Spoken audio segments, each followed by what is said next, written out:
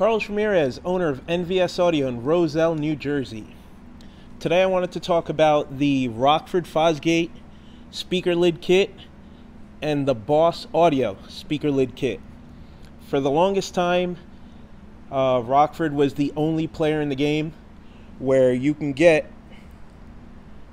a lid kit for your Harley Davidson motorcycle. So it's a cut in lid kit which allows you to use your factory lids. Then you cut the kit in, allows you to add six nines to factory saddlebag lids that had no speakers on them at all. The Rockford kit is very popular. It was the only game in town for a long time. And then a few others jumped into the game, like uh, uh, Sounds makes their own lid kit, nice high quality kit. Um, cut in lid kit 702 motoring came out with their version of the kit which allows you to use any speaker that you want. Boss came out with theirs just recently and i'm pretty sure i'm missing one. I thought there was one more company that made a lid kit. Oh dirty bird offers a lid kit but um the dirty bird one doesn't really look factory. So the big players in the game when it came to factory looking lid kit was Rockford Fosgate and Sounds, and now Boss threw their hat into the ring. Uh, a lot of people laugh at the Boss lid kit because Boss is known for doing some shady stuff when it comes to audio and overrating the power of their amplifiers and claiming that they're 300 watt amplifiers, 3000 watts, and stuff like that. So they did a good job with the lid kit honestly, I have no idea how they're not getting sued by Rockford. Maybe Rockford is building the kit for them. I have no clue. Don't quote me on it. I'm just guessing. I have no idea. But the similarities are too crazy. And then when I made it on the website and I checked, when you compare the Boss Audio complete um, amplifier installation kit that comes with the lid kit, the speakers, it looks identical to the Rockford kit. Even comes with three speaker grills for the front for the Harley Davidson. So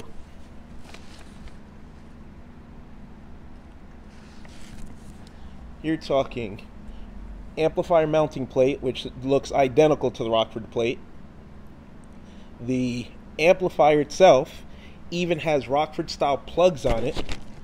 That's what made me look it up because the wiring harnesses that come in the kit have Rockford style Molex connectors. So that's what made me go on the website and look to see what kind of connectors their amplifiers use, and they're exactly the same. So I don't know if they have some sort of partnership with Rockford and Rockford is building this for them. The only difference in the kit that I've seen is the speakers. So the part that you see, the grills, look identical. Obviously, the logos are going to be different. Grills look identical. Only difference I saw in the grills is the Rockford has a gloss and the Boss has a matte finish. But the grills, the gasket, the way they're put together, I'm talking identical, identical, identical, identical. So then we move over to the mounting brackets. Once again, identical in every way. They even bring the same exact screws. One difference I did notice the Rockford kit offers a gasket where the 6x9 sits on the kit itself. The Boss does not. There's no gasket.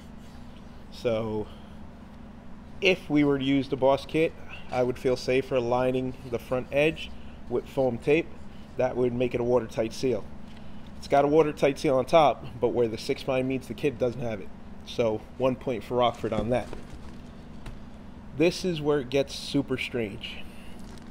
So these are the cutout templates. As you can see identical. The Boss one is red, the Rockford one is black. The only difference I see in the template is three mounting holes to hold it down versus two. Everything else is the same.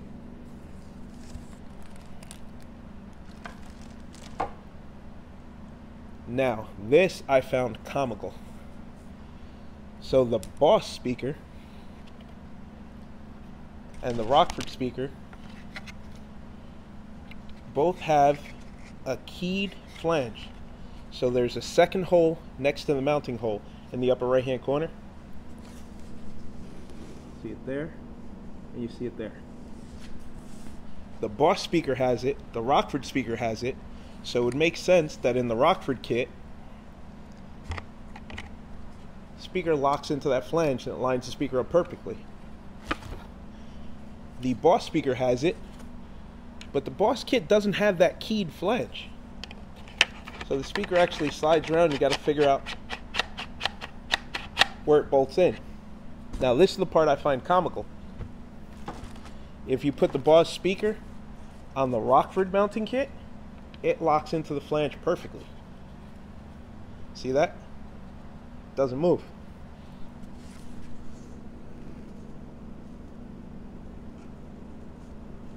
That flange right there.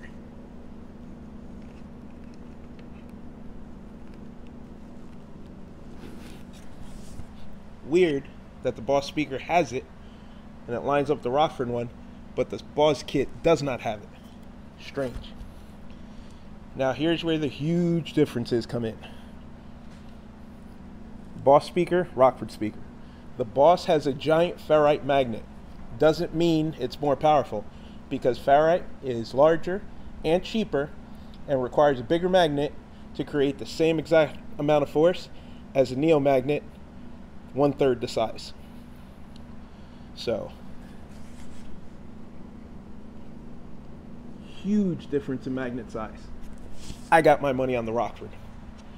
Huge difference in build quality. The glue on the edge of the surround to keep water out of the tweeter is nice and a perfect bead. The one on the Bose speaker, on the Boss speaker, it looks like a kindergartner did it.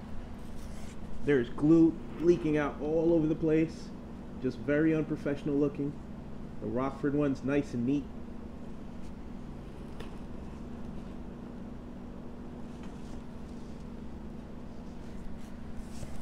So obviously, the quality and attention to detail, Rockford much better. The glue's just thrown all over the cone on the Boss speaker. Um, we're gonna have to do a test because when we go by the numbers, Boss claims to handle more power, but Rockford claims 100 watts RMS, 56 hertz to 20,000 hertz. Makes sense. Boss claims 150 watts RMS, but that also depends where you check. On the paperwork that came with it, said 150 watts. When I checked the website, it claimed 175 watts. So it claims 150 watts because it plays from 70 hertz to 20,000 hertz. So less mid bass, more power handling. Completely makes sense. But if you go on the website, they claim 175 watts RMS, 50 hertz, which 6 hertz lower than the Rockford, to 20,000 hertz. I call bullshit on that. There's no way you're going to make the speaker cheaper, more efficient, because the Rockford speakers claim an efficiency of 89 dB. Of course, the Boss speaker is claiming an efficiency of 93. So it's claiming to be more efficient, according to the website, play lower, according to the website, handle 75 watts more. And I can't compare voice coils because Rockford told me there's a 1.4 inch. Nowhere in the paperwork or the website could I find a voice coil diameter for the Boss speaker. So we're going to have to test it. I'm going to load them each into six 6 million boxes. I'm going to put them put 400 watts RMS to each one. I don't think it's going to work out too good for the Boss speaker. But hey, maybe it'll surprise me. Um, we've already tested the Rockford on that power, and the speaker absolutely jams. Sounds great on that power. Uh, what else? Uh, moving on to the manuals. Boss has a color manual with some color pictures. They're not good pictures, they're just color. But the install instructions are terrible. I even found a mistake in the manual. So, the reason I knew it was a mistake, the Rockford manual is boring and black and white, but at least it's accurate. It has the dimensions. It's got very accurate install instructions. Even re makes recommendations on how to protect your bags so you don't scratch them. So what made me double check the manual was the harnesses that come with the kit are completely identical. They even have the same part number, which means they came out of the same factory. So the part number on the rear speaker harness is 1560620380 on the Rockford and is exactly the same on the Boss. On the Boss, part number is 15606203901. Same part number. And the other side is 03801. Rockford rear 038 and the other one 039. Same exact harnesses. Even says clutch side, brake side, even says clutch side, brake side. So when I'm reading the manual, the Rockford one tells me to drill a three quarter inch hole to run the grommet through the saddlebag. The Boss manual told me to drill a 5 16 hole. And when I checked, the grommet is three quarter just like the Rockford. So it's a mistake in the manual. Both come with the same exact harness, same sleeving, same Techflex, same identical harnesses. So these are a little bit different. These are the same. Speakers are different. Even comes with a basket to go over the back of the speaker to protect your valuables in your bag from touching the hot magnet of the speaker. Rockford does the same thing. So I don't know if Rockford is building the kit for Boss. The only difference in the two kits is literally the speakers. The wire harness is the same, wire plugs are the same, the templates are the same, the even the damn mounting screws are the same.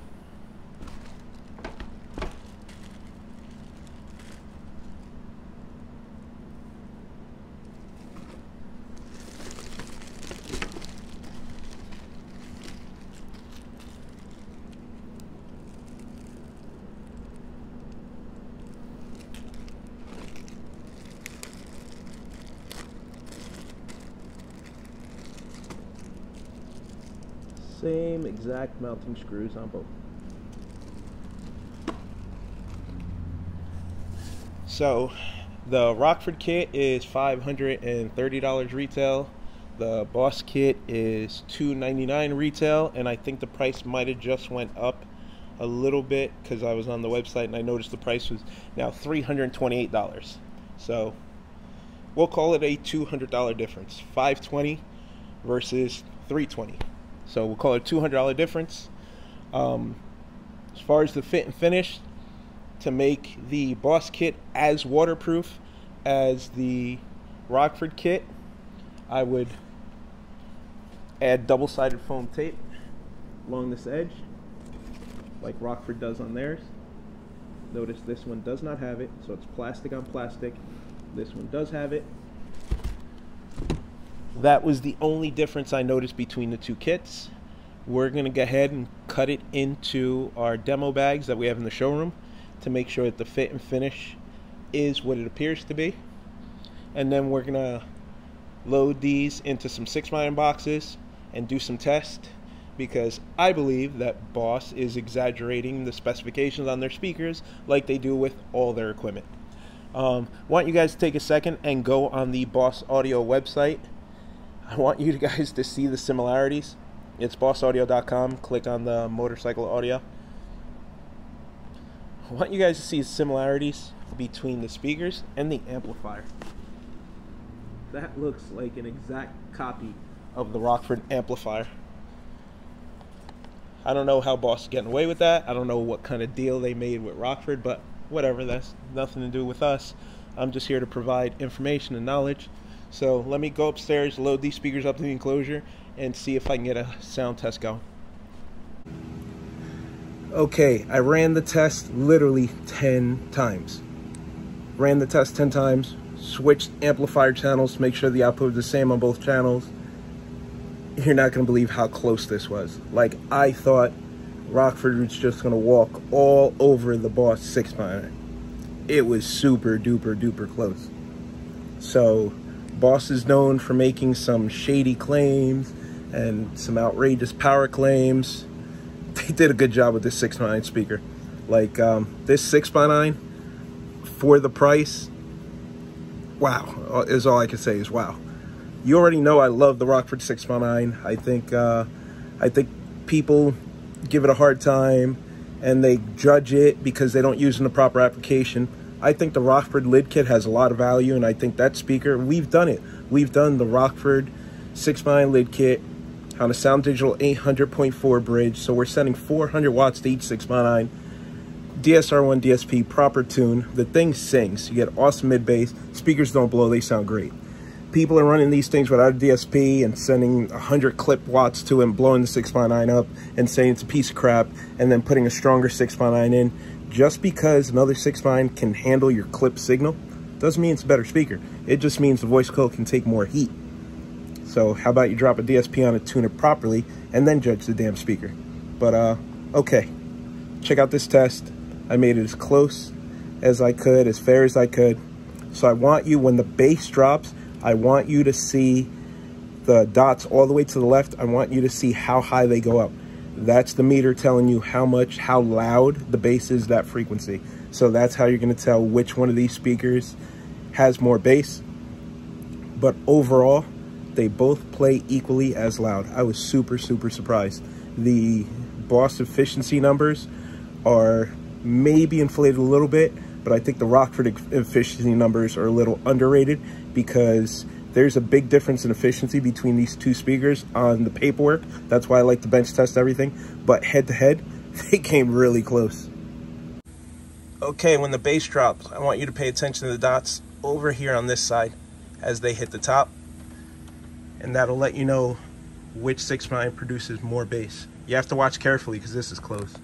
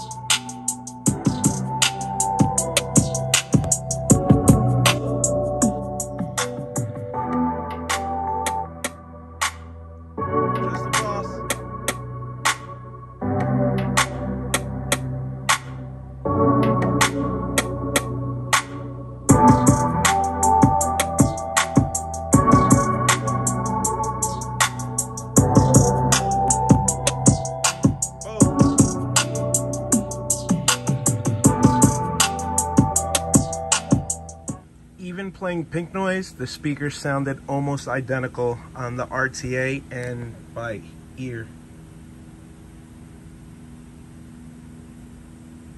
Pink Noise with all high bits.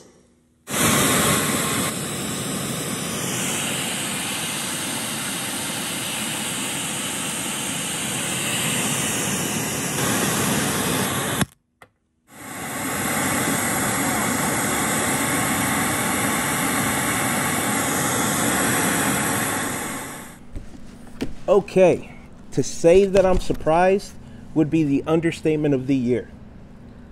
I thought, hands down, Rockford was going to walk all over the Boss Audio. I thought it was going to outperform it in every category loudness, bass, everything, everything, everything. I loaded the speakers up in the same enclosure, hooked them up to the same amplifier bridged, I even flipped the RCAs to make sure that the input gain was the same on both sides and I measured it to make sure all things were equal. The damn speakers came out damn almost even. The Rockford edged out the Boss with mid bass by a little bit. I want to say maybe 1 dB difference. It just had a little more mid bass. Um, and I'm not a fan of the way Boss advertised their product and the false advertising and the misleading RMS power claims. Well, they claimed that the speaker handled power, and it does. Rockford modestly rates theirs at 100 watts. Boss rates theirs at 175 watts. Both speakers handled double RMS with no problem. You got to remember in the test, I ran 400 watts RMS to each one with no crossover. So that meant they were playing 20 hertz to 20,000 hertz. Uh, the Rockford played a little bit lower, and its pa- in its paperwork it did say that it plays almost 20 dB lower than the Boss, so that was to be expected. Boss claimed that their speaker was more efficient. I think Boss overrated theirs a little bit in efficiency, and I think Rockford underrated theirs because they played pretty damn even. Being that the speakers are made out of similar material, the RTA came out almost the same on both, with just a little more mid bass on the Rockford. So you have to respect the Boss audio kit that it came really close to tying with the Rockford kit, and it's $200 cheaper. So everybody considers this a buy the kit, throw the speakers out, replace the speakers. You might want to take a listen. These speakers might make you happy. Um, obviously, they handle power. Remember, I tested them on 400 watts RMS. No crossover. So if you high pass them at 80 I don't see you blowing these things. I don't see I don't see you blowing the Rockfords. As long as you're using the DSP and you high pass both of them at 80, I don't see you blowing either of these. Considering I tested them at double RMS. So there's a few things uh, in the install kit. Obviously, the Boss is lacking the gasket that the Rockford has, which is no big deal because you can fix that for two or three dollars, adding your own gasket. The fit and finish of both kits is identical. Even comes with the same damn screws, same damn harness, and I really, really like the harness that comes in the Rockford kit, which same harness comes in the Boss kit, because if you clip those speaker leads on properly, they will never, ever, ever, ever fall off. So, um, I thought this was going to be a review, making fun of the Boss kit and showing how much better the Rockford kit is. It is not. It actually shows a lot of value in both these kits, but at $200 less, the Boss Kit is a contender. It's something to consider. Uh, so, hope this helps. Talk to you guys later.